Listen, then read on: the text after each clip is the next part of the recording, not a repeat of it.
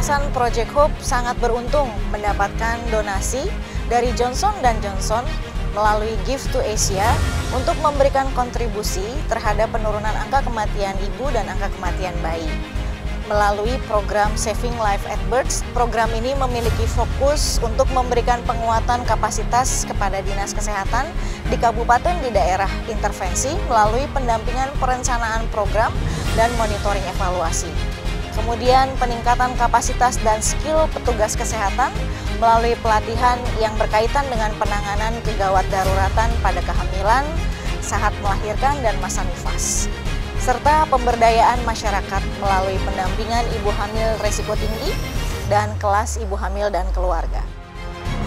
Bersama dengan Yayasan Project pemerintah Kabupaten Gerobogan menyusun rencana aksi yang kita beri nama Gerobak Mana atau Gerobogan bersama atasi kematian emak dan anak yaitu merupakan sebuah rencana aksi daerah dengan melibatkan stakeholder, pentahelik, kita berupaya untuk menyusun rencana aksi ini dengan siapa berbuat apa, mulai dari hulu sampai ke hilir, yang harapannya bisa mengurai di mana permasalahan tingginya angka kematian ibu dan anak di Kabupaten Gerobogan ini.